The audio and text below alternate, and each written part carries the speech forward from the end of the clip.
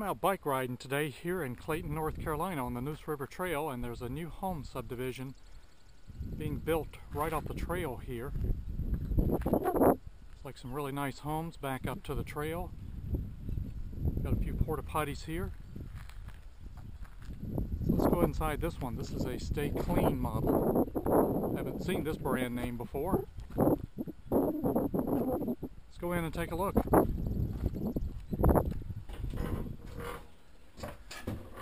And I will say one thing, it is not clean right now. It smells bad and it's hot in here, real hot.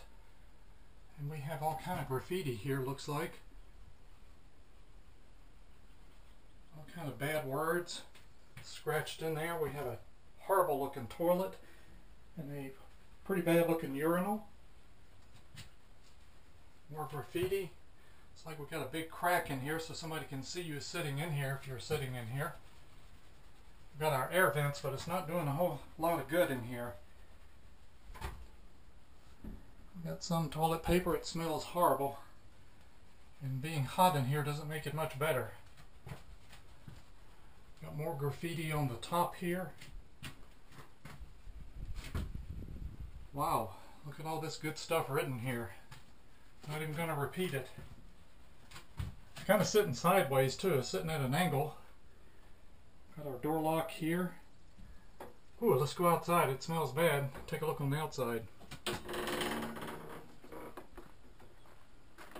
You can kind of see it's sitting at an angle here. Could be easily turned over, but it's sitting on skids. There's our vent pipe up here.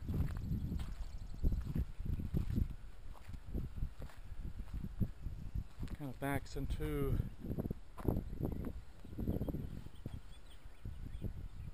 right up to this ditch here.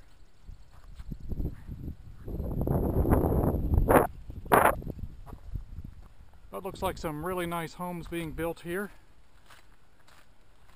But I certainly would give this porta potty here a, a big thumbs down here on the Neuse River Trail in Clayton, North Carolina.